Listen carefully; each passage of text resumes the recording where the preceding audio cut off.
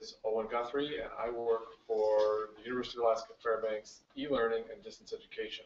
And this uh, session uh, is brought to you today by uh, e-learning and distance education. Alex St. John is with us from New Zealand, and his presence here today is paid for uh, by University of Alaska Anchorage. Um, they put on last Friday a games-oriented conference about uh, games and education called Serious Fun, and we have a special thank you to uh, Dave Dannenberg and Jeanette Renovino for facilitating Alex's presence here. So as I mentioned earlier, Alex St. John, welcome. Come on in. We ate the last cookie, sorry.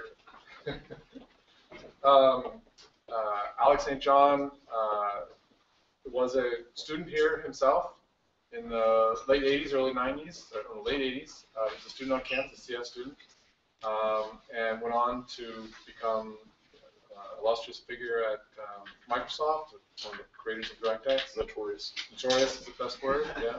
Um, and has had a diverse and uh, somewhat legendary career in the computer games industry and the software industry in general. So um, most of you, many of you were here earlier, so I'm not going to go into the details. I want you to be able to talk to Alex as much as you want. But um, if you're interested in finding out more about Alex, he's got a very active blog on the internet. I suggest you read there. It's got all kinds of humorous uh, and lurid details of his life from inside Microsoft and also conversations about uh, Microsoft products and other products in the industry. So um, without further ado, Alex St. John. All right. Thank you, Owen. Fabulous. So as Owen mentioned to you guys, so this is a little open forum here. I'm not going to do slides because you know, this is a nice small enough group that we go, okay, let's talk about how we're going to get you guys employed and get you the kind of careers you want to have. And frankly, if you're delusional, shatter those delusions, crush your dreams so that you can rebuild realistic ones that you can actually achieve, which is one of my favorite things to do to the young people. Because um, it happens to me many times. Um, so as Owen tells you, I, uh, I'm from Alaska. I grew up in the bush out here for 16 years, log cabin, no running water, no plumbing, no electricity.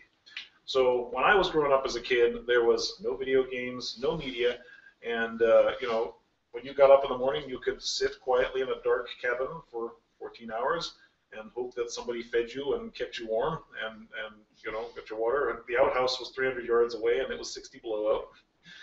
And uh, so, frankly, the way you grow up is just trying to survive every day. And it didn't matter what your age you were, you're out scooping up snow, bringing it in, melting on the pot. You're out hauling wood, chipping it with an axe out of the frozen thing. It's keeping the fire going. You're waking up at 3 a.m. because if your cabin dropped below a certain temperature at 3 a.m., your family froze to death. You had to get keep logs in that fire all the time. You had three months of summer to gather all the food you would need for the winter, all the berries, all the moose, all the dead animal you could collect, nine cords of wood, which would fill about half of this room, and the kids got to split it and stack it all by the house, and then you spent the rest of your winter shoveling it in for nine months to survive in your cabin. And then I got to go back to society when I was 16 and got dropped into a regular high school, which I adjusted to extremely well by dropping out. Um, so one of the weird things coming from my background is how many of you are actually Native Alaskans here? That is born here. All right. So I'm going to tell you right off the bat. Maybe your upbringing wasn't as rugged as mine, but I'm going to tell you right off the bat, you have a huge cultural advantage if you want to go down to the lower 48 and look for a job. Just because, even coming from anywhere near this kind of lifestyle, your upbringing is going to be a lot more work centric than it is down in the States. And I'll tell you right off the bat, I'm going to express a extreme attitude to help communicate with you guys because I, knowing I grew up working. And when I moved down to the States, it was really hard for me to adjust. One is there's nothing to do. There is no work that needs to be done. Water brings itself into your house. Light comes when you throw a switch. Heat just radiates from things. And if you're bored, you push a button and, and entertainment happens. You don't have to go outside and find a pine cone and a rock and a stick to knock around. You, you just, it arrives there. So it was very hard to me to just doing nothing. And over, just to give you a perspective, years later when I'm an accomplished employer hiring people and I'm hiring kids who come up from that culture, there's nothing harder for me to grasp or deal with than, than the lower 48 view of work because work where I come from is painful and backbreaking and always miserable, and nothing is rewarding about it except you didn't die. but in the lower 48, work is something you can or cannot do, and you'll be okay tomorrow for some reason because stuff will be taken care of even if you don't take care of things yourself. And a lot of kids grow up there never having gotten a blister or a cut or dug a ditch or chopped a log or doing anything strenuous. And so when they're dropped into high-tech workforce, the idea of sitting, I need a prop here.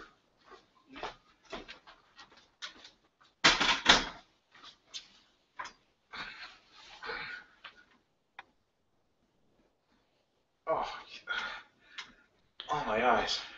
Off at carpal tunnel. I need a break. It's too much work. So you'd get this mind-boggling notion that there was any amount of sitting at a desk, moving a mouse, and blinking once in a while that could ever be called work or strenuous. Ever! And so you literally have this, you have, you just got, I need a break. I've just been concentrating all day. Just the work, oh, so stressful, all the work that's. You know, none of this is ever work. No amount of sitting on your ass, barely moving a mouse, is ever work. It may be a little tedious, but that's still not compared to moving logs in the freezing cold and, and it being tedious in addition to that. So one of the hardest things I had adjusting to was that my idea of what was work compared to what most people grew up perceiving as work was orders of magnitude apart. And I go, hey, I am really fortunate to have an unusually high IQ and to have lots of talent. I'm really happy about that. But actually, I knew lots of people who were really smart Maybe some of you were smarter than me, not that I would admit that. But boy, I kicked their ass when it came to getting anything done. Because when other people go, I'm slightly bored. I'm, uh, oh, it's a little inconvenient. You know, that was a really exciting idea 15 minutes ago, but now that I face actually shipping it, I, I'm kind of losing interest here. I've got to make an excuse to work on something. You should take care of that for me because I have something new and important that needs to be done over here. And you see that constantly now. So it's just people just just the ability to finish and tough it out and get something done was insurmountable to them. And so my most useful secret to my success superpower was in addition to, you know, being a little bright and talented, was my work ethic and my ability to get things done, no matter how dirty, how boring, how tedious it needed to happen, I tackled it. And so what I will tell you now as another Alaskan, when I went down there, and to give you a little perspective, again, no education. I never graduated from high school. I took a little, uh, spent a year and a half here at the university in the CS and E engineer because I tested in. And they said, you, you don't have a high school degree, so you're going to have to blow it out on an SAT and ACT. So you know what I did? I spent three months studying my ass off until I aced those things and handed the engineering department there, go, can I get college, please? And then uh, I got a job down in the States, and I go, well, I kind of need money, and the university isn't paying me that much, so I took a job in the industry, and a few years later, I ended up hired by Microsoft in a very key technology and strategy position with no education. And so when I arrived at Microsoft campus, I was sitting there going, God, and I was very young. I didn't know why they had hired me. I mean, I was excited, I was proud, but I was surrounded by nothing but computer science majors. AAA group, Stanford University, Caltech, top of their class geniuses, grew up in civilization. They they were with all their graduate friends who they'd gone to high school with, all of them geniuses, all of them ex extremely seasoned in the industry. And I showed up at Microsoft and I was like, boy, I have no idea how I'm going to survive here. I don't understand a word they're saying. I don't know why they hired me or how I got in here. I'm glad they did, but I don't think that can last for very long because I am nothing like these guys.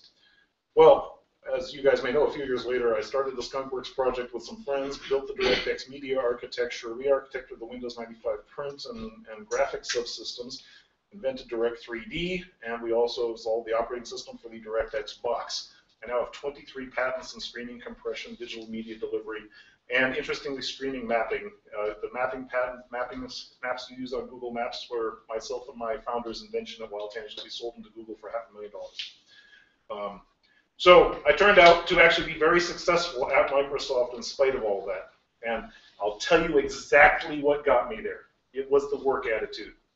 I go, those guys, I'm sure those guys had better educational credentials, better degrees, but boy, could I outwork them. Boy, could I kick their butts when something needed to be get, get done. Boy, did my ego not get in the way of doing whatever it took to get my shit finished. When those guys were like, I graduated magna cum laude, I don't write test suites, that's somebody else's job. I did whatever it took. And that made me immensely successful. Um, one of the things I was told while I was there is I joined Microsoft in 92, I was the fastest Microsoft millionaire in history. And that is, not only did the stock go up at a very precipitous time, but I was granted options so fast for my work there that they compounded very rapidly. Uh, and then I left Microsoft and started Wild Tangent. And a lot of people left Microsoft and started companies during the dot-com era. A lot of people raised a lot of venture capital and started companies in that era. Wild Tangent was unique in one interesting way.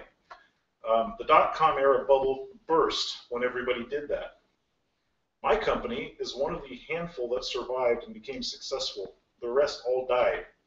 And the major reason the rest all died is because it became really hard to survive and to run a company and to keep it alive and to keep it funded when the entire economy had collapsed.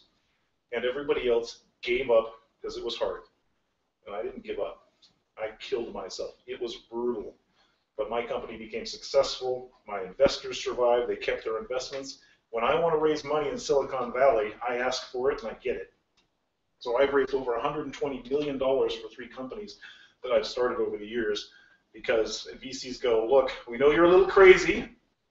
We know you don't have any formal education, but we also know if we give you our money, you're going to freaking do something with it and you're not going to blow it or give up because you have a bad day.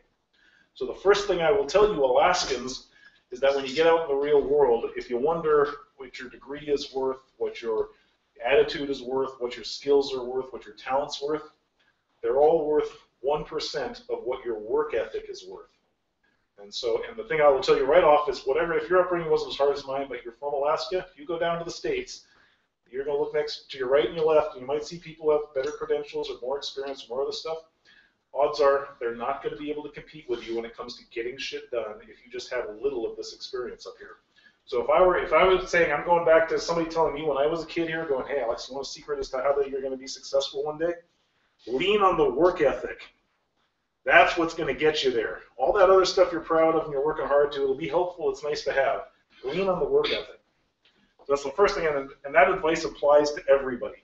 Because I do everything. I, I do my accounting, my financing, my raising money. I write my own code. I handle the business model and engineering. Because the nice thing about a work ethic is you don't let your ego stop you from doing whatever needs to be done, get done, or learn whatever needs to get done to be successful. A lot of people go, I want it comfortable. I kind of want to just do this because it's fun. It's the thing I like. I just want a job that pays me to do that thing, and I kind of want to avoid any of that other stuff. That makes you a wage slave. If you want to be a wage slave and collect a good salary and have a secure job, that'll work okay. If you want to be the boss, if you want to move up, if you want to run companies and manage things, the attitude is if it needs to get done, I do whatever it takes to get it done. And people who have that attitude go very far. I had an interesting experience with that recently. Um, having left Microsoft many years ago, um, as you know, Microsoft had a lot of very great and very competitive people.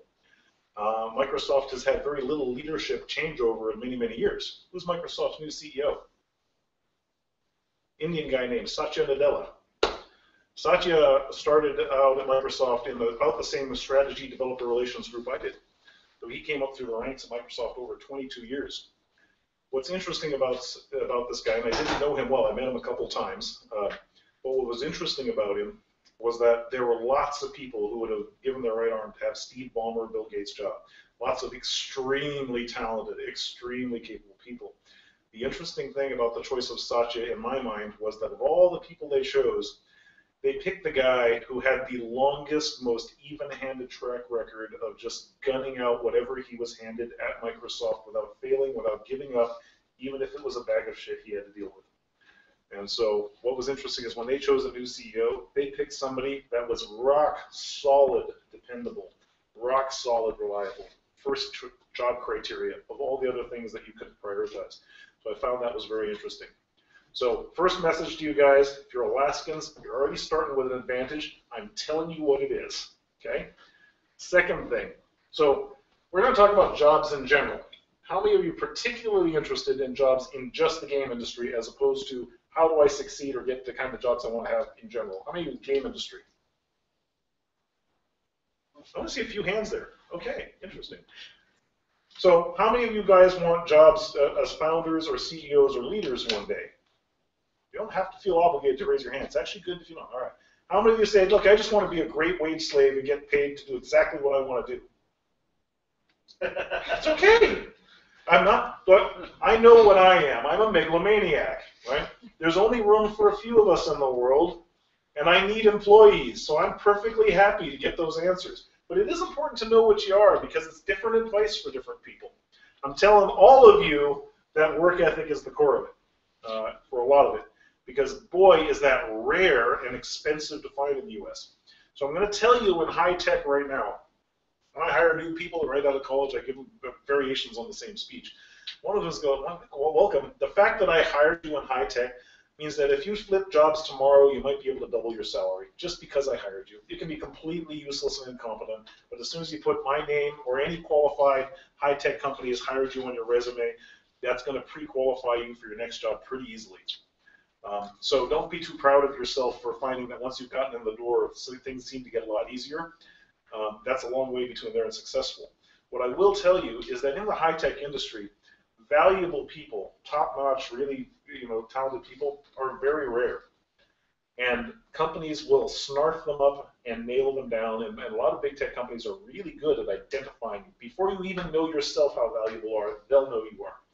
And those guys get pinned down deep in the heart of Microsoft or Facebook or Google. They get paid, excuse me, half a million dollars a year to never leave. They never change jobs. They never see the light of day.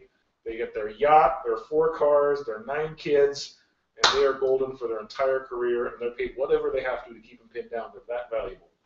And so one of the interesting things is if you want to be one of those people, well, like I said, I'll tell you how to do it, and it starts with that work ethic and that dependability. Because that rock solidness is what big companies pay nice, big, steady. People like that are just worth gold. Because the problem in the high tech industry is, of course, you're making complex stuff, right? Everything is complicated now.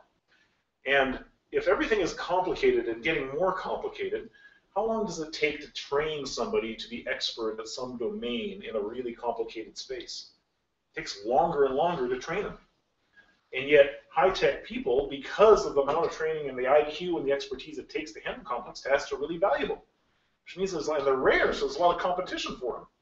So down in the valley, the turnover rate, down in Silly, uh, sorry, sorry, in Washington, you know what the turnover rate for an average Amazon employee is? Nine months. Microsoft, 1.2 years. Down in the valley, similar. Nobody keeps people more than a couple years anymore.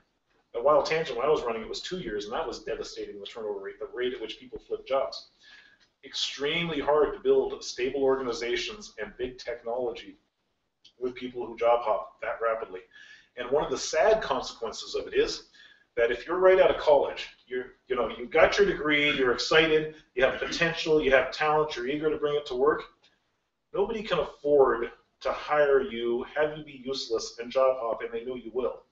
So the hardest part about getting in the door in high tech is that they go, look, I hate to say this, kid, but it's going to take us three years. Even if you're brilliant, you're going to bust your ass. I know it three years before you're even productive for me. The, the stuff we do is so complicated. And you're going to be out of here in six months because the minute you're hired, you're job qualified, and some poacher will come up and go, oh, look, I'll pay you double, come over here. And you're going to go, kind of dumb, got to go, sorry. Cool, another Google, Oracle on my resume. Let's see if I can get Facebook next. So what you would see in the valley is these resumes that are just a list of, and then somebody comes out of college and just job, job, job, job, right? And then and then maybe two years or so forth, just job hopping, job hopping.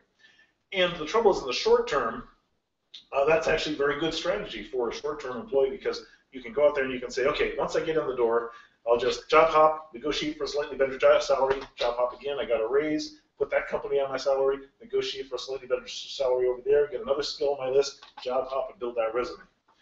Uh, and the short term, so you get kids out of college, and if you've got the talent and the skills, and you get sought after, you job hop a bunch of times, you get yourself up about 120, 160 range, and you think you're doing pretty good. Um, and there you stay forever, kind of. But that's essentially how it works down there. And so you see these highly groomed resumes where people put a lot of work into job hopping in just the right sequence to get all the stuff on their resume. And recruiters know this. So when I look at piles of resumes, perfect resume, perfect resume, perfect resume, and all I'm thinking is won't retain, won't retain, won't retain, right? Um, and so getting in the door is the hardest part. And if you want to get in the door, one of the strongest, there's a lot of things I'll, I'll emphasize to you, but one of the strongest things is what is going to give the employer confidence that they're going to keep you long enough to be worth something. And what I will say to you is that in the short term, that is not in your interest because you could jack your short-term salary faster by hopping around. That's true. And I wouldn't even necessarily blame somebody for doing it.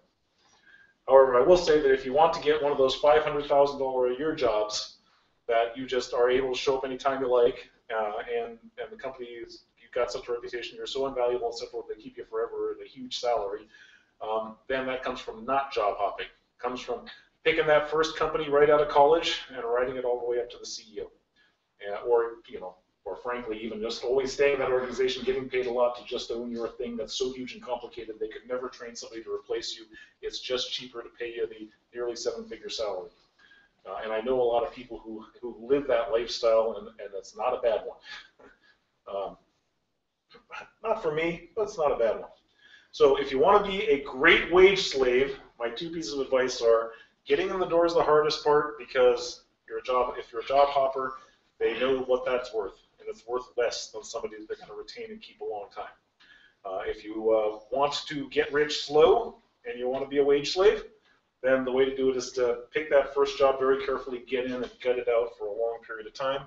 Uh, if you want to jack your salary up there, do the job hopping thing, and then maybe try to switch roles. But the problem is when you've done the job hopping thing and you get into your 30s, it's much harder to get that senior role than at a Google or a Facebook and entrench in. It's possible still, but it's much harder. Uh, it's, it's easier if you come up through the ranks very often. Uh, and again, not insurmountable. I wouldn't say that that's necessarily gator. All I would say is that there's a trade-off between the job hopping resume building technique, which has its uh, advantages, and the, the slow and steady approach. Um, the, uh, the other thing I would say that um, that you find very problematic these days is that when employers, you know, down in the valley and down in the lower 48, everybody's highly socialized and trained and optimized to get jobs and to be in large organization politicians. So one of the things that was very weird for me working, especially in California, I mean, I was exposed to it in Washington, but it was really clear in California, is you have a population of people. These jobs are valuable. There's a lot of money changing hands. Competition is fierce. So the people who are lucky enough to have the education and the talent potential to get into these high-tech jobs, you know, they have, they're highly groomed their resumes always look right. They always talk right. They look right, right? And, and it is almost a sort of a profile that's familiar. People like sometimes, a lot of organizations specifically like hiring you because you are groomed that way. Uh, but at the same time, if you're an employer, especially at a startup, um, it's much harder to hire those people because they're very good at being impossible to get to know. So when you want to interview people, one of the hardest things to do in an interview is everybody's nervous on the interview, right? So when you get in, you get down to the interview and people want to talk to you, if you're looking right and always perfectly formal and always have the correct polite answer and make professional eye contact and hold yourself with the correct disposition and uh, always recite the correct answer to the questions that you've been properly conditioned to do, then the employer will be very impressed about what a great professional you are and have no idea if they ever want to work with you because they don't know what you're really like. Um, and so one of the challenges is that if you're working for a big organization and talking to the recruiter, that is a good way to be. If you're talking to a startup or talking, interviewing with the managers and employees you'll be working with, that's the wrong way to be. The right way to be in a startup or in front of people you're actually going to be working with is relatively open and relaxed and show your personality. And if your personality is one they like and the one they like to work with, they will hire you and you will like that job. If you do not get that job after you've done that, you didn't want that job. You don't know it, but those people go, I got to know you. I hate that person. If they were in here, we would have a miserable time and they'd quit. Let's just not hire them. So the nice thing is that what I can tell you is that when you do the formally thing, one of the saddest things is when you don't get a call back and you don't know why you're and you don't get hired, you often don't know why. That's also because it's illegal to tell you. So the nice thing is, I'm not hiring you today. I can tell you why I didn't hire you in advance. And I hire a lot of people. So the number one one in interpersonal situations is, I didn't get to know you. You're too polished, too formal, too nervous for me to feel like I got contact or could make a formal relationship with you. And so I don't know if I want to work with you. I can't tell. Uh, so one of the things is is look at the conditions when you're talking to a recruiter somebody you're not going to be working with, then delivering the formal presentation. Frankly, also you want to be liked by the recruiter, but being able to show that you're professional and, can, and managed is important in that context. But when you're interviewing with the actual person who's going to employ you or the team you're going to work with, you've got to show who you are, let them get to know you, take some risk. If you don't get the job, don't feel bad. You probably didn't really want it. Okay. So uh, the next thing that uh, we should probably talk about a little bit is, you know, what's your education worth and all that stuff. It's good to get good grades. It's good to have the right degree. That's but what happens is your resume is a is for not for hiring you. Your purpose of your resume is to eliminate you. So the resume's job is for them to go qualification list resume match or not, not match trash. Okay. And a lot of people because they know that get good at cultivating their resume. Again, I'll say I don't recommend that necessarily. Um, your purpose of your interview is to do what? See if they want to work with you. By the time they interview you, you are already qualified for the job. That resume qualified you. If they don't take time, interviewing is very time expensive. Everybody hates interviewing. So by the time you're at the interview, you are considered qualified for the job, and the purpose of the interview is to disqualify you again. That is, well, we want to know the positive things. Do we want to work with you? But we're actually mostly looking for the negative things that might show in your personality and open dialogue. And so, and the, and the trouble is that so people get so good at hiding that that they can't qualify or disqualify you in the interview. And that's why I'm saying, truthfully, if you want a job that you're going to like and to be successful at, let them get to know you, take some risk. That's more likely to get you the job and more likely to get you a job you want.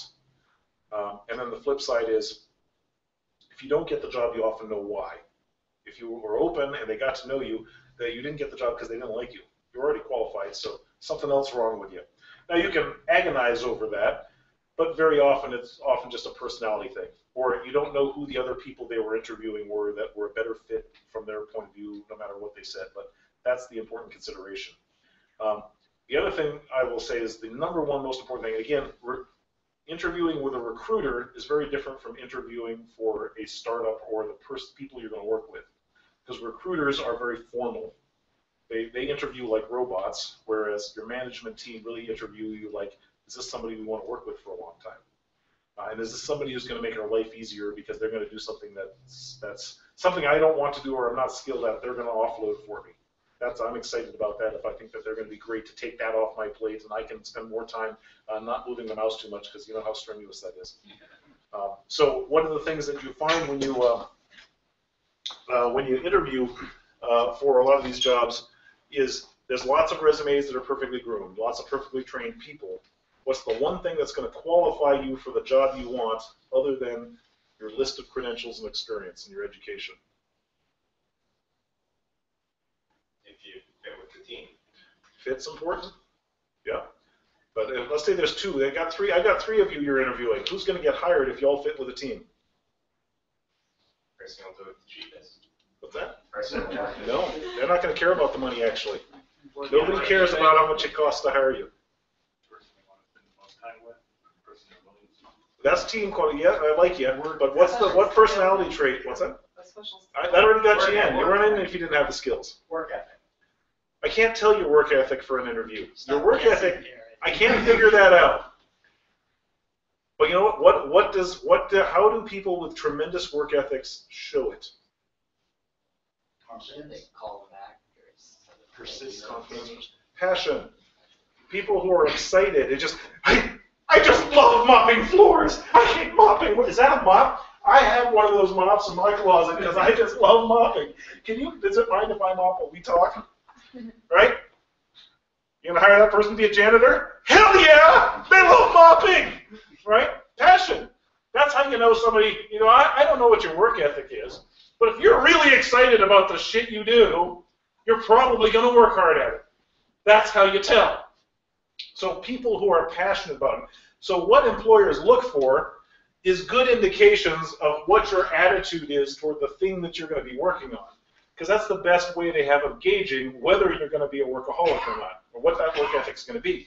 Everybody can talk a good game, but showing passion is usually pretty genuine. It's pretty hard to fake, right? And so, and especially when we talk about the game industry, it's a little easier sometimes. But what I got to tell you is, you know, for a lot of those, let me, back this up a step. Anybody with the talent and expertise to get a job in the game industry also has the talent and expertise to get paid twice as much at a boring enterprise job. telling you now. Nobody works in the game industry because they're there for the money. That would be stupid.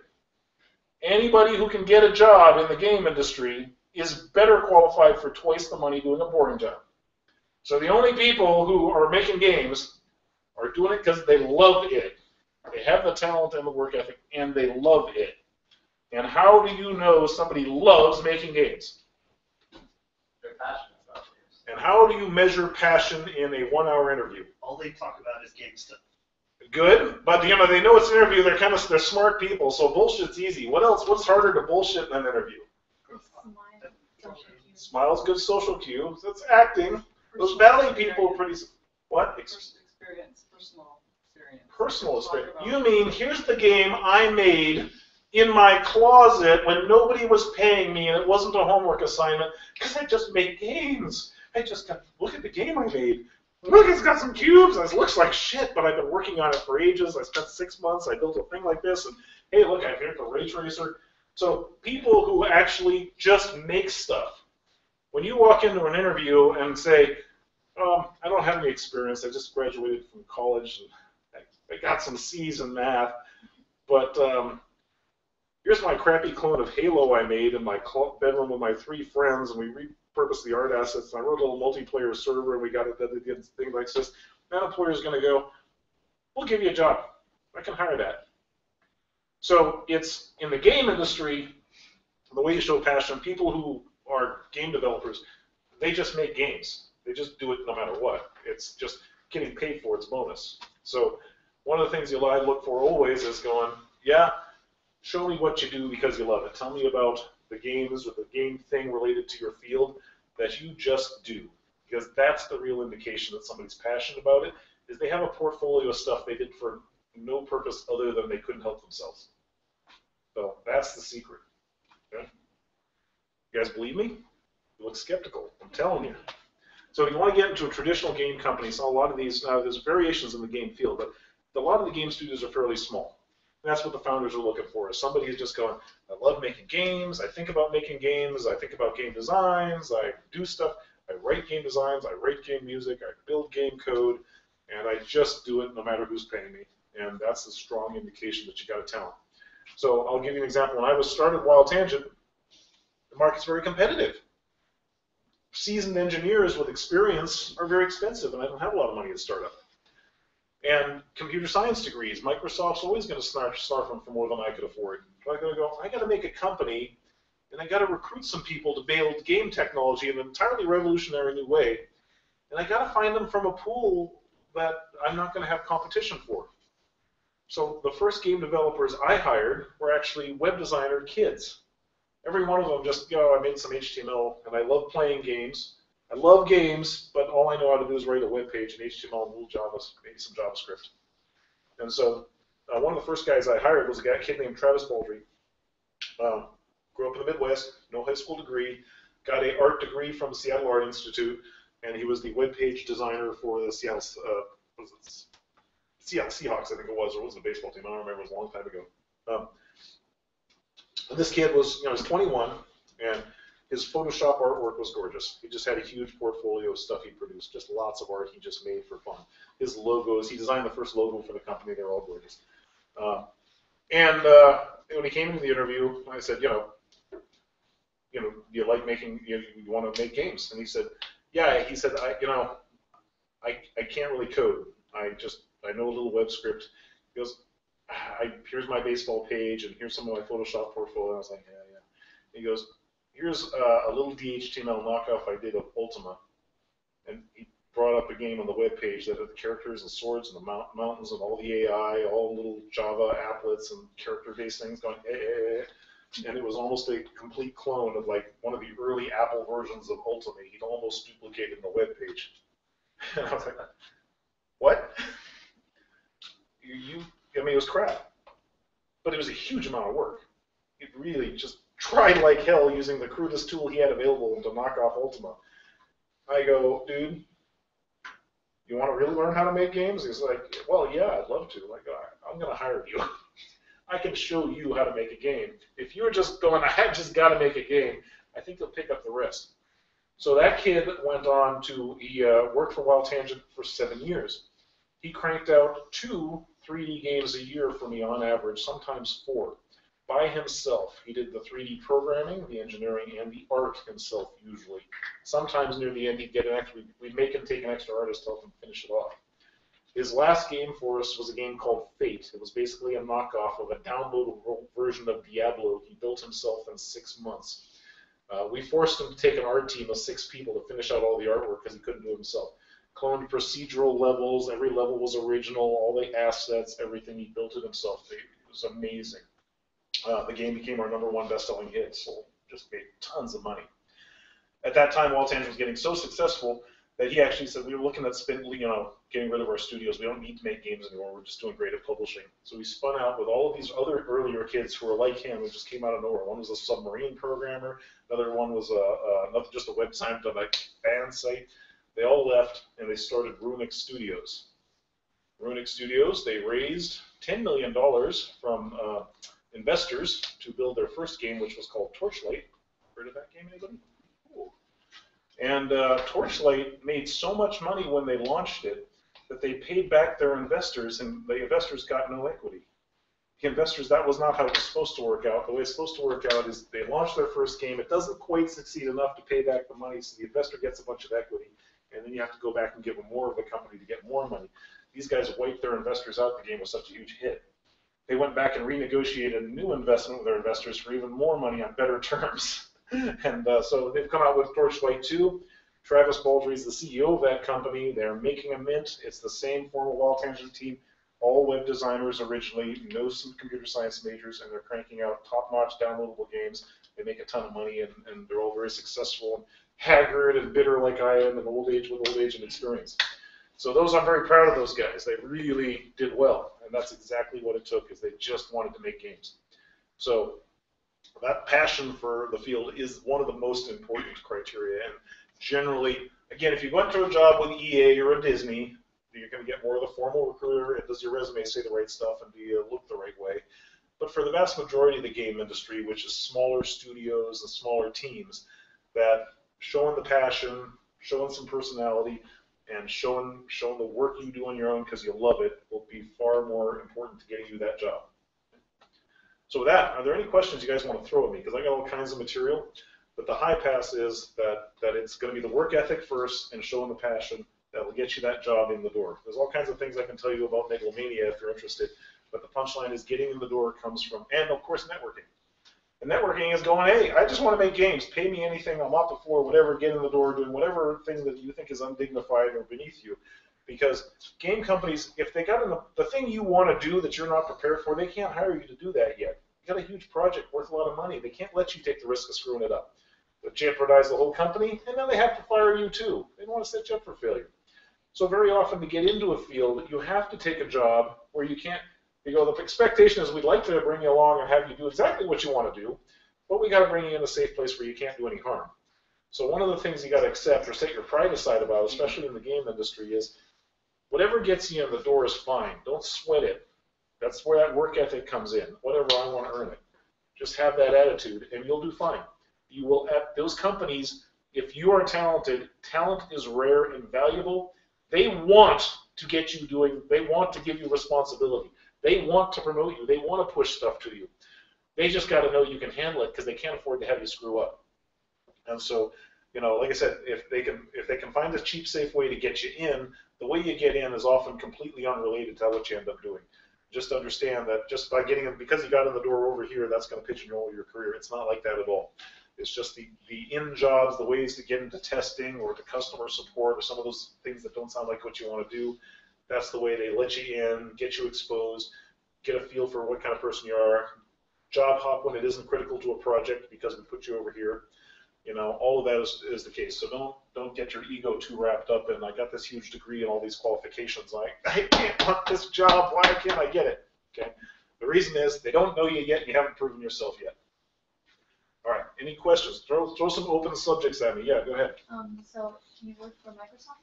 Yes, I did. So what, do- what do they look for if they're, if all you can give them is a resume for an internship? What do they look for? Uh, in what, so do you have any generally or specifically? Um, Microsoft has changed a little over the years. So I can tell you the answer, what it was when I was there, or I can speculate a little more about what it is today.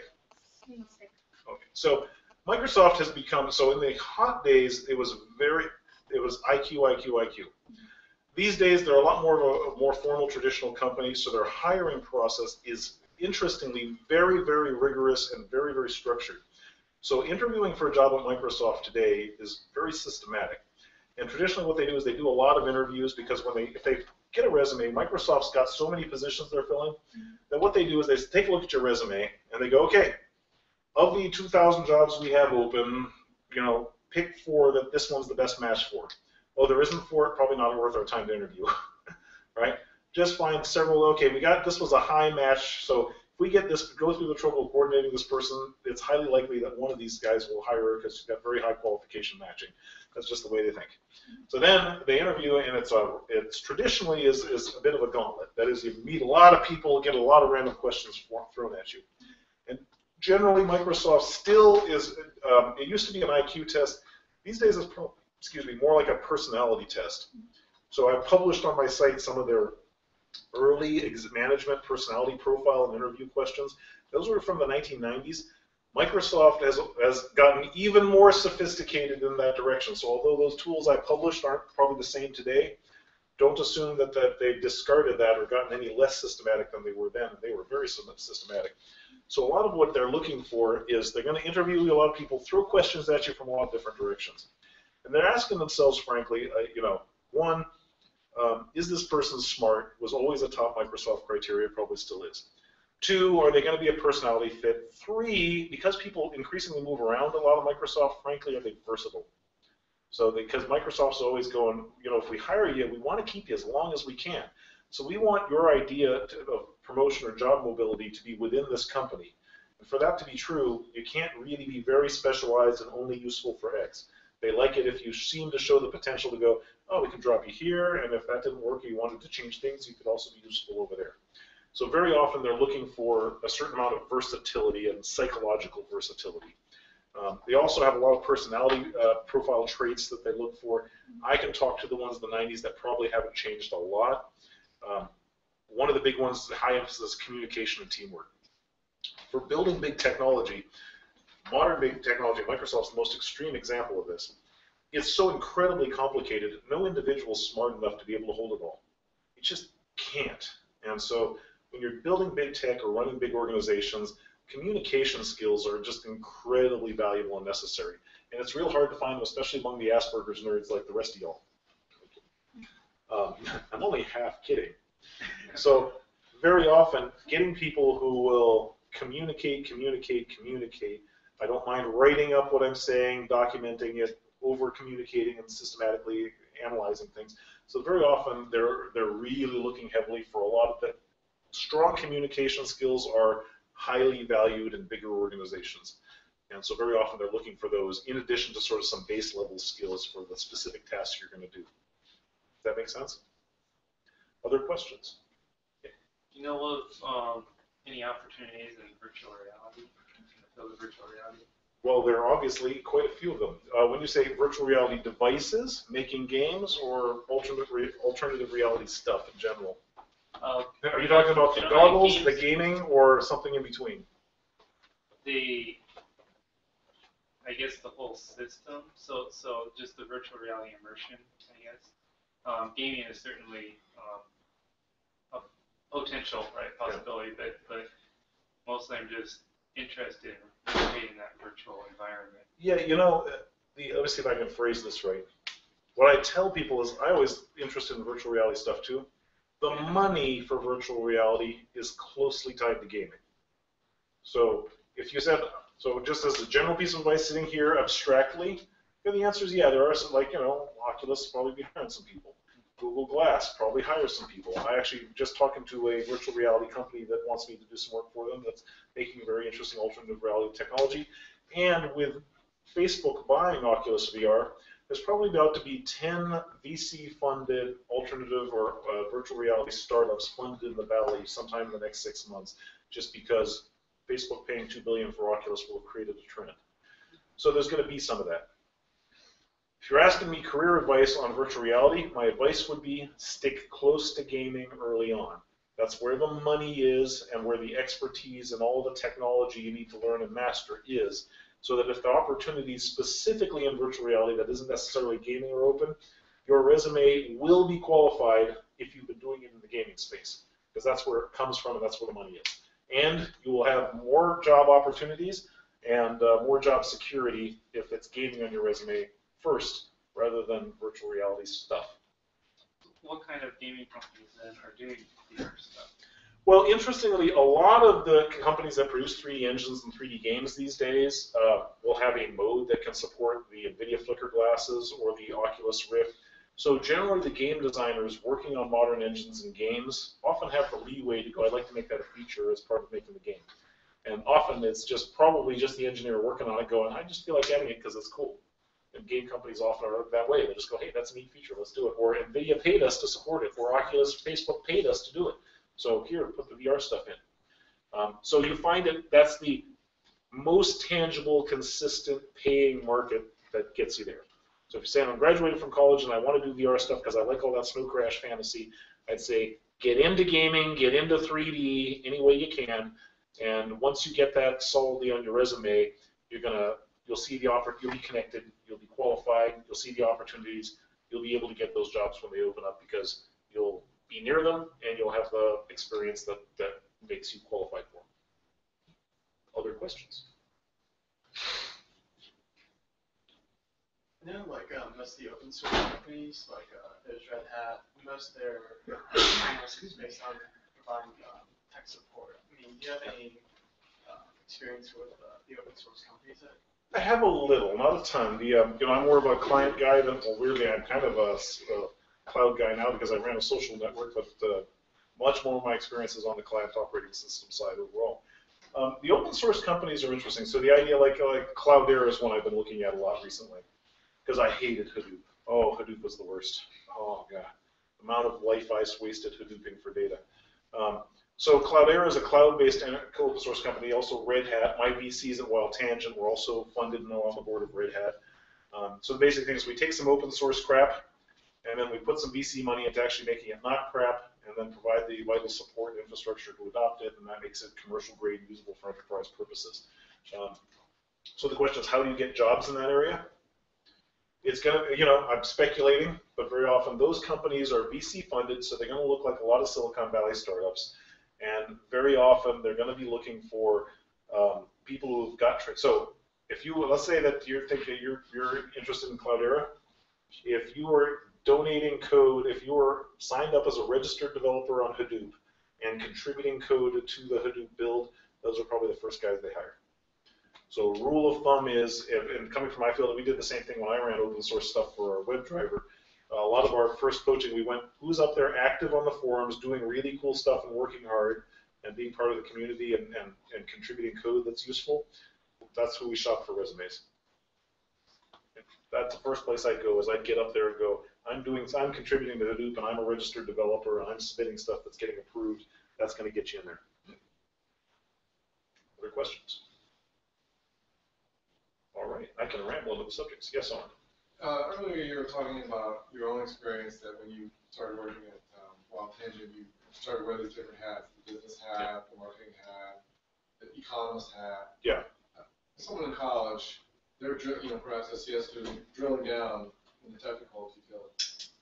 Would you recommend diversifying a little, like getting your background, like taking Yeah, courses in business or what do you think? The thing I try to be careful about in these kinds of conversations is I know that I'm fairly unique in my particular personality properties, and other people have. There's a very wide range of interests and skill sets that people have in their careers. So I'm trying. I want to try to give you guys advice that's really relevant to what you want to be, rather than what was relevant to what I wanted to be. Because I want to be a megalomaniac that rules you all. I don't give a mild laugh like that. I think he means it. I do.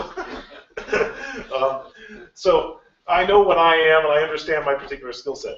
So, you know, in the megalomaniac in me says, yeah, you better know everything, you better do everything, you better be able, you know, I had a guy I worked with who was a lot like me at Microsoft, and the yelling conversations he had with, with, you know, wage slaves who uh, weren't very broad functional, he goes, look, I'm your manager. I'm supposed to, I suck at all of this, and I can do this specific task you're hired for better than you. Look, and then you do it, idiot. Why am I paying you when I am less qualified than you and I can do a better job than you?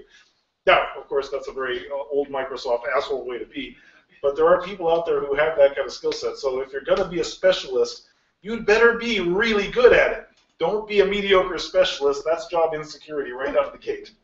Because you will encounter uh, in high tech people like that. They've risen to very senior, like uh, a guy who was not like Eric, actually, is uh, John Ludwig, who ran Windows for Workgroups development, and he ran development of Internet Explorer at Microsoft guy was really interesting to me because he was an engineer nerd. He's just like me. I'm going to go see him in a week or so.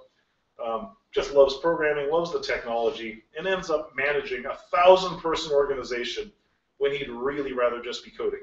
Didn't like managing people at all, but he was so freaking good at it. Uh, and he was, you know, and he kind of just dealt with it like programming. So the guy had a very interesting personality type because he's an exceedingly good manager for large, complex engineering when you know that all day long all he wanted to do was code. Um, and so the interesting thing about him is you were constantly, you mentioned, you're constantly reminded that this guy not only could probably outcode you, but he also could run a thousand person organization. Um, and that that that skill set, and again for him it was probably just genetic, just a personality trait. He didn't go to school, didn't want to be management. He just kept getting promoted because he was just really useful at that. So very often you'll find that those skill sets, if you have them, the organization will discover them and promote you into them, and maybe against your will. They'll just I'll just pay you more to do this, even though that's what you want to do, because you're actually good at this and don't know it. Uh, so you, you can find that that happens quite often at a lot of different levels in an organization. When it comes to being, so I can't tell people, hey, be generalists, because being a generalist is hard. It's, it's a lot of, frankly, for most people, it's genetic. What I can tell you is that work ethic is universally valuable. I can just, that's great advice, key advice. Low pride, dig in, get it done and finishing will always guarantee you job security and your choice of jobs. It just works. So that's the first one I'll press on you. The second one I'll press on you for big technology and complex organizations is team or organization communication and coordination skills. Big complex stuff can't be made by individuals anymore. It takes a huge amount of coordination to get these things to happen which is a really complex mix of social and people skills and technology acumen to understand it all. And a really weird and valuable skill set is the person who can go, look, I can't understand way down here at the lowest level what you're doing, but I am really good at identifying the smallest subset of what your job is or what needs to be done to make a correct, efficient decision about how to structure an organization, how to build things. And so if you go up the food chain to technology producers and program managers and so forth, you find these people often who maybe they, they often weren't the best engineer in their career. And I was actually, I, was, I have I've had a lot of interesting conversations with women graduating from school, and they have a lot of concerns about entering the field, many of which, interestingly, are imaginary. Um, because, you know, they're like, well, I'm a girl and I got a computer science degree. I just don't know. I'm going to compete with all the boys because they don't assume girls are the best programmers and so forth. I go, well, first of all, honey, no. bunch of guys do not want to work together in a sausage fest. A bunch of nerds going, God, it'd be nice to have some girls around here. It really sucks. so anytime that a, somebody gets a computer science degree, a qualified computer science degree from a, a, a woman, they're going to get first dibs. It's going to go to the top of the stack. So if you're a woman in high tech and you've got technical skills, that is they're not going to go, oh, broad, she can't code. They're going to go, oh, thank God. Let's just let's say just let's put her qualifications suck, but let's just for maybe the personality, teamwork, whatever, because we hope so. And the other thing that happens with women is that because those management skills, great engineers, I hate to say this, great engineers often exhibit a lot of Asperger's symptoms. I mean, they just, I can't talk and I can't mumble and I really don't want to deal with people. And it's really just, it's, it's not a stereotype, it's true. Uh, and so some of the best engineers will never make good managers. They, and they're preferred. They just I don't want just tell me what to do, and I'll just, just shut the door, please, on your way out. right? And so very often what organizations love getting is women with those qualifications. And they may expect, hey, these women, they got a CS degree, which is very interesting and cool that they got one. Maybe they're not going to outperform these male Asperger engineers at being compulsive 14 hour day programmers. But oh, thank God we've got managers for them. So very often, not only do they want to have women in the organization just because nobody wants just a bunch of guys in a dark room, they'd like love to mix it up. But second, women are very often a very good balance of technical acumen with social skills, and so you'll often very quickly see them moving into management roles. Uh, and funny enough, the engineers are like, yeah, give it to her because I just want to be left alone. Um, so interestingly, actually, in the in the most of the high tech space, that's why I tell my daughters, I just just just get a computer science degree. It doesn't matter if you hate it or you're a lousy programmer. Now, of course, my daughters will be brilliant ones, but the interesting consequence is you will be hugely valuable and your job will be secure just because they'll go, oh, thank God, we've got a generation of potential managers here, and we can hire them because they can do some coding, could be some use for that. But even if that's really not their thing, even if they're going to end up coordination, communicating, we really need that. So you also see that in the game industry a lot, where they'll just go, boy, if we can just find a chick gamer, a nerd chick who just loves playing games, right, but has these social skills that the nerds don't, then she's in charge of producing it. Because you know, I had one, uh, Tanya Royer, right, now producer of PopCap, I think. She's one of my favorites at Wild Tangent. Because we had these advertising projects, just pain in the ass customers, complex projects. They had to be delivered on a short time frame. Uh, some of them, because they were for like Axe deodorant, they were a little sexy. They had some political correctness issues with them, right? And so we had to do motion capture with dancers and stuff like that. We just go, Tanya, this is your job. To deal with the shouting customer, deal with the strippers who have to do the mocap for the Axe commercial, and deal with the engineers because we don't want them near the strippers to actually write the Axe deodorant game, right? And Tanya was just like, I got it under control. Um, and so you know, for women entering this field, they're actually very valuable. So one of the things I just I tell you know all people is like, you know, girls, you want a great secure job, you want your choice of jobs. You, you don't have to go, oh, I want to code all day. That's okay. Get a technical degree, get the skill set. There's lots of demand for management. A lot of the folks here are going to be hopefully getting uh, that first interview, the first job, months or years from now. Could you give them an idea of like danger signs and management to look for and when to go to the other team or uh, Yeah. or the other company? Yeah, you know, I'm going to say something strange to that respect. I don't care. The first goal, your first goal in the industry, get your first job. And frankly, get it on any terms you can. There's going to be, as, as Dan correctly points out, lots of potential mistakes. And if you're one of the really valuable people, you got the right qualifications, you're highly sought after, the key thing, actually here's, here's the good advice to give you on that front, which is that if you really want your choice of jobs, you've got to approach uh, uh, getting them in parallel. So getting in parallel means get your resumes out in a fairly tight batch. Get your try to group your interviews in a fairly close batch, right? Um, try to keep, keep it concentrated. Do your networking in a fairly dense batch, so that what you, what you hopefully get is multiple opportunities to choose between. If you can orchestrate multiple opportunities at the same time, that is, I expect to get three job offers this week, then you really get your choice. And then you can ask that question, eh, manager made me dodgy, I think I'm going to go over here. Um, if you don't have, haven't done that, or you're not for whatever reason, the market isn't that way, or your skill set isn't that way, if you just have a job or not a job, my advice is get in. Get in, because the minute you're in, your ability to, and again, I hate to say it, but once you've been hired once in high tech, the ability to job hop is a lot easier on the inside.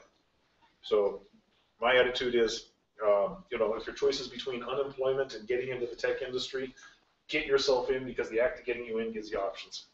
So, are in Fairbanks, Alaska, possibly just CS student, and the advice to get in, but this is a geographic problem. Is Yeah. that a problem? Well- How to address it?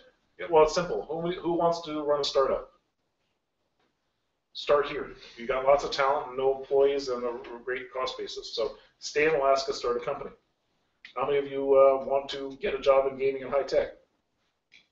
Move to California, Washington, or work for that guy. No, I'm serious, right? The uh, the jobs are down there. Um, uh, the um, the market is in, when you get to the Washington on both coasts, but particularly the West Coast. competition's very fierce. So you want to have that big, fast-paced career and so forth. We can make talk about some life stuff too, which might be fun. But you want to have that big, high, highly sought-after, face, uh, you know, high-tech career, you got to go down there. Um, if I were Alaskan and entrepreneurial, I would absolutely do it here. I would do it here because it is so expensive and competitive for talent that if I could justify camping outside the University of Alaska, setting up an office, and having first dibs on you guys, I would absolutely do that. Give me a huge advantage. Because down in California, you guys are going to be making triple what you're going to make up here. Um, so if I were an entrepreneur, I'd start here. If I were looking to get, get a tour in high tech, I'd get my butt down there. But let's mix that with a little life stuff. You know, I love Alaska. Um, I could never have had the career that I had here, but I love it here. You know, some people would want to come back. If you're looking at sequencing things in life, you know, one of the things Owen and I were talking about is the interesting question of balance, right? People go, well, I got a wife and I got kids now, and I know that it's not work. I know Alex told me it's not work to sit on my ass and move a mouse all day, but sometime I need to go home and spend time with my family because I can't mix those two together very well. Um, and one of the things I said to Owen is, yeah, I know it's very tough if you're starting out graduating from college, here is the correct way, or here's the best way to sequence your balance in life, in my opinion. Get in the door, work your ass off, 100 hours a week. Kill yourself those early years, move up, make as much money as you can.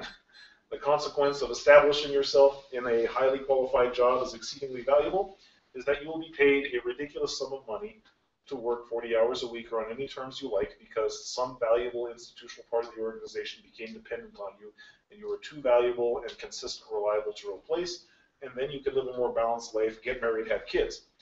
If you want to move to Alaska and live and have kids, then go do that at a startup, get your stock options, get that sucker to flip for half a billion, take your money, move back to Alaska, and live happily ever after doing whatever the hell you like.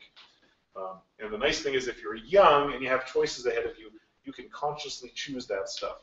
A lot of people come in, you know, life is complicated, things mix up, family, you fumble around, and, and that often shapes your career a lot. But if I was say recommending efficient paths for for you know high tech careers, my frankly my advice is while you're young and single, go kill yourself. Just go bust your ass and just do that and don't have any balance other than busting your ass and succeeding. Because that'll buy you the seat at the table you want to have either to get a lot of money in stock options and to be able to retire young, which is really neat when you can do it, and a lot of people do that, or to have a very high paying, consistent job that doesn't have those demands of you anymore because you moved into that kind of role, you drilled yourself there. And that's absolutely a practical option as well. I'm getting a look from Amanda. You don't like that advice, Amanda? No, no, I do, I do, it's all good. I'm just, it's just the reality of it, right? Uh, like I said, you can be mediocre, work for 40 hours a week, and there may be options for you. I'm just saying, because I'm a megalomaniac, I'm always looking for how do I get the most of what I want, not just a pretty good job or a pretty good arrangement. You're just ruining Owen, that's all, I'm all good. I'm sorry. Well, Owen's already Well, he's he's already over now. the hill, married and done. He's not going to get his computer science degree now. This is not can applicable to him. you. Yes. So do you have any advice on managing somebody who has both Asperger's and is a megalomaniac? I have had my sins revisited upon me many times. Um, yeah, well, you'd have to be more specific, but the Asperger's people I'm very comfortable managing. You just gotta, you know, the funny thing is, you know, society weirdly thinks it's disease. and I like, I'm recruiting for it. Boy, I last thing I need is an engineer to have a girlfriend because that's really cuts into their productivity. Um, and if they have a wife, boy, you go, I need you to work 90 hours a week, and she'd actually like to see you sometime. And so I and uh, you know, um, so the Asperger guys are great because really all they want to do is code and work and code. So I'll just hire them. Just come right in. Here you go. Here's your computer, computer keyboard. I'll see you in a week. Um, so managing them often, they have certain personality traits. I don't know if you want to reveal the particular ones you have. And I don't know, are you married to one or is one your son? I know, no, Are you sitting next to him right now? he's not my son. Just hypothetically. Yeah, the, uh, uh, well, how do you phrase it? Um, the, uh, Asperger's, the, the condition my daughter is extreme at it. My father's got an interesting case of it. I'm probably something, I've got the gene in some mutant form. Um, the condition is, is a, a inability to separate important from unimportant information, often due to latent development of the hippocampus, which plays a role in deciding what memories are worth storing and which ones are not. And a lot of people with various Asperger's or idiot savant syndrome, they can focus on some incredibly boring, tedious, methodical task and never get tired of it because that's just infinitely fascinating and, and it never registers as boring to them. And so people are that way, I'm that way, I just can't stop. So, you know, I was uh, fortunate to uh, marry a woman who goes, I get it. You, I understand that you just need to compulsively work and, you know, happy to spend time with you when you're available for that. And of course, I try to recognize I've got that condition and, and say, hey, honey, I'm sorry that I'm spaced out all the time, but let's go do something anyway. I just thought it may take a while to shake it off. Um, but usually most of them do not have the ability to do anything like that. They just like that, and you just got to realize that it's not voluntary when they're that way. Um, and then if they're megalomaniacs, if they're megalomaniacs, that often actually, frankly, makes them difficult. I was an incredibly difficult employee, and some of the ones I've had to work with, some of them are nice and docile and just love to work all the time. Some of them are pretty difficult and argumentative. Um, and that's where uh, the the uh, uh, mom figure producers work very well. I'm just saying. Because if you if you put them up against another engineer, they argue all the time. If you put them up with somebody less technically qualified who's just trying to manage them, they just run them over. It's got to be somebody they respect and not for technical reasons. So frankly, if you have a producer who treats acts like a producer who acts like mom relative to them, then they drop into the yes mom role pretty efficiently, and I'm quite happy when that happens. So that's what I always loved about Tanya. She was very good at getting a bunch of engineers to go, oh yeah, whatever mom wants, uh, and that was just great. You go, that's that worked fine for me. Um, yeah, they are difficult, and you know, I said Microsoft was full of them. They tend to be very argumentative, bullheaded, hard to train. Sometimes, if I had young ones, I'd bring in an older, more seasoned, more bullheaded one to train them and maybe break them down a bit. And that's usually what helped me a lot. But there's no easy way. But the Asperger guys, they're the most prolific. They're the ones that are going to think about a problem, solve it, never get sick of it, get it done. That's what it takes to produce technology these days. So they're very valuable. Those guys, weirdly, some, you know, actually here, you want the wife advice? I'll tell you exactly what to do for your Asperger's man. Ready, women? Here's what it is. They're so happy to nerd out at the job they have, they wouldn't dream of asking for a raise or changing it. And very often they're a lot more valuable than they realize. So I know a lot of these guys who they just get a job and they just get lost in the woodwork and, sh- and, and like you know some of these guys I know are Blizzard geniuses. They'd be 160, 225 grand off the chart if they job shopped. They never job shop. So if you want to be the wife and you've got one of those, go, hey honey, let's just get the resume out there once in a while. Let's just get you in a couple interviews, and no, I know you love your job. Just we're just going to get you to an interview once in a while. If somebody offers you twice the pay, I know you love the job you're at. Just tell your boss that and get the raise, and then go back to work. So I'm serious. I just so I've actually coached a lot of wives. I go, I hate to tell you this, but your husband's worth a lot more than he realizes. He's not going to act on his own behalf just because he's that way.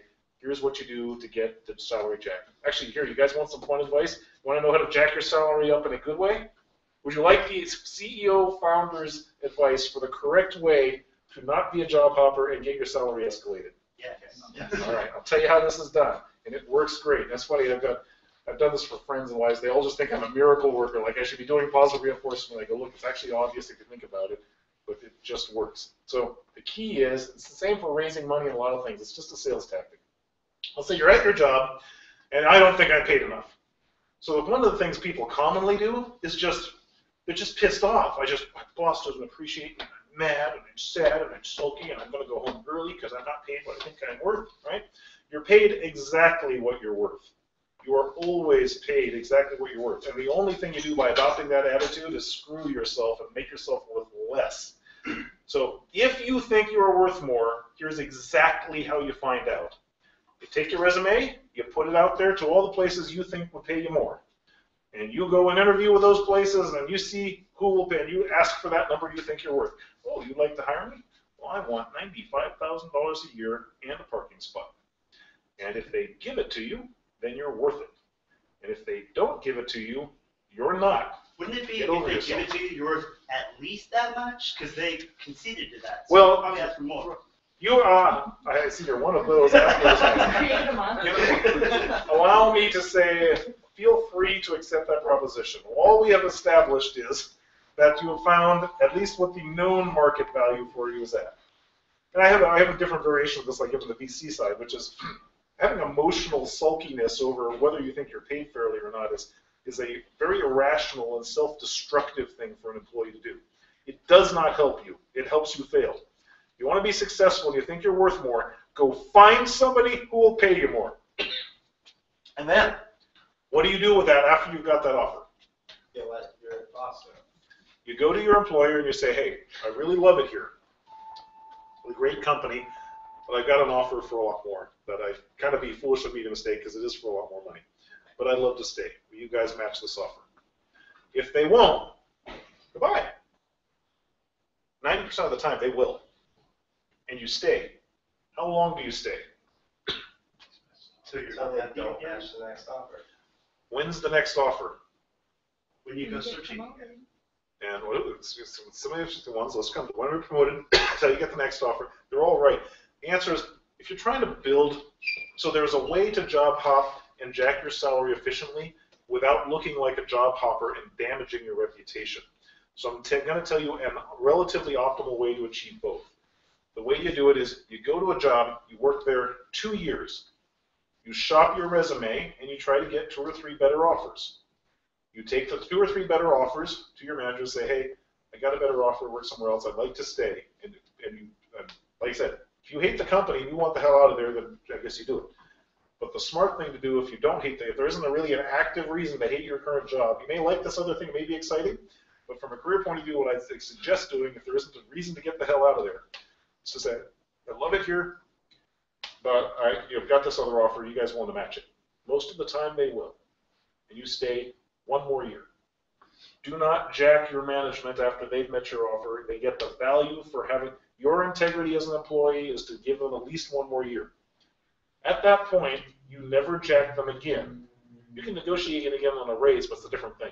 You don't have to go, when somebody wants to promote you to a new role of responsibility, the fact that they're saying, we want you to do this job, you can negotiate without having to have a counteroffer. But when you, the points at which you go and job shop and say, will you match this offer, have to be wisely chosen to manage your relationship with your employer and your reputation. So if you go, I stay one more year, then after that year, you say, now your employer now knows you're going to do this if you want. They know that you can get a better offer if you come to them. So you don't have to blackmail them again that way, and you never want them to feel like you did, because that's what makes bad feelings. You just got to go, hey, I love it here, I want to stay, here's the other offer. You can do that roughly once a year if you need to, but the blackmail of going and say, I actually job shopped and went found it, you really only want to do once. The second time, if you're not happy and you feel like you can get more from another offer, you don't give them the option to retain you, you leave. Okay? Because even if you go, I got a, I did it the second time, and I got a second offer, and I want you to match it, and you do that within a year, they're going to start feeling like they can't trust you, like you're looking, always looking for the door, and they really got a plan to replace you, which doesn't help you. But if you do that once, you just say, hey, and you can always do it once for free. So my advice is stay on the job two to three years, uh, at least, um, if you can, and then change job without the option. You can use the I've got a better offer once, and then you got to give them a year after you do that. And then I don't recommend you use it a lot frequently after that. If you're at a company 10 years, there may be other windows, but the rough formula is two years at a company, I got counter offers where you meet, meet this and raise it, stay another year, and then you make a decision. Um, whether you're going to stay there or whether you're going to hop. But at three years on the job, looking pretty good in the valley. Early on, earlier in your career, three years, two to three years looks good. You know, six months looks bad, very concerning. Uh, when you start getting up in your career in your 30s, five to seven years looks good. You know, under three to four years doesn't look good, looks a little weak. So if you're looking for kind of roughly whether somebody thinks you're a job hopper, whether you're going to be reliable if they hire you, that's just a good indication. But that technique of doing the get the job, stay on it two years, and then one, get competing bids and see if somebody will match it, and then stepping it up. And, and be coolly rational about it. It's nothing personal. Company pays you the least they have to to keep you. It's not personal. Nothing to get mad about. The only person to be mad about your compensation is you. If you can't get somebody to pay you more at a different job, you're not worth it. Instead of being mad about not being paid fairly, think about what you can do to make yourself more valuable so you can get the compensation you want. That's a much more practical and productive attitude to adopt to getting the career you want to have. Disgruntled employees are useless and toxic, and, and it damages. If people sulk their way out of an organization, That results in bad reviews, it results in bad reputation. The problem in the valley is it's not the damage that's done to your reputation isn't when a recruiter calls another company and says, "Hey, should we hire this person?" Nobody does that anymore. They call people who know you and just ask about you, and it's done casually and informally. So, what are the people and the coworkers you have? What are the friends of the recruiter know about you? Because they're very efficient at finding that out. And if you left on bad, sulky terms, that's what they're going to hear. They're not going to want one of those. So, a toxic employee is very dangerous. Don't be one of those guys. If you're unhappy about your comp, find somebody who will pay you more or improve your skills, but don't let it get up in your head. Don't let it affect the way you view your job or the way the employer is treating you. If you're worth more, you can get a better job somewhere else.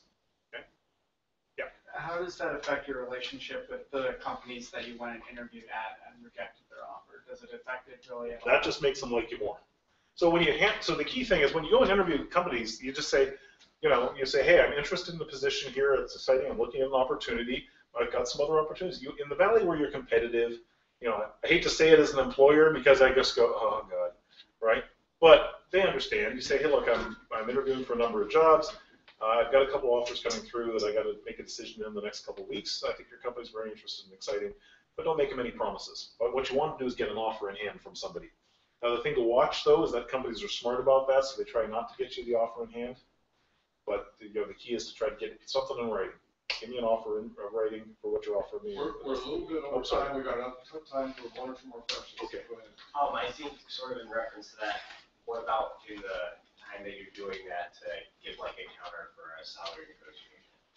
Oh, You let the other company that you're interviewing, do you, I'm just searching around, or do you say like, well, I'm with this company right now, but you know, the, it really depends on you and the particular conditions. My general advice would be that you- it's perfectly fine to say, hey, I've been with this company for a couple of years. Um, it's a great job, but I'm looking at moving to something else. I've always been excited in this space, so I'd like to look at this particular job because it looks like a lot of fun. They're gonna, you're still always going to get asked when you've got an existing job, well, why are you leaving? And so having that answer, and and they're going to check, especially if it's if it's a fast job change. So frankly, if you job shop by, in, sorry, a lot of information. Let me try try to articulate this clearly.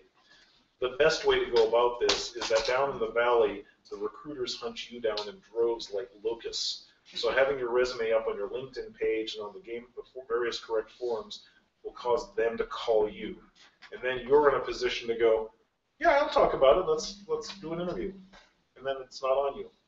Um, if you have to actually go and say, hey, please interview me, then yes, there is some implied commitment to take a job if they offer it to you, and that does look worse.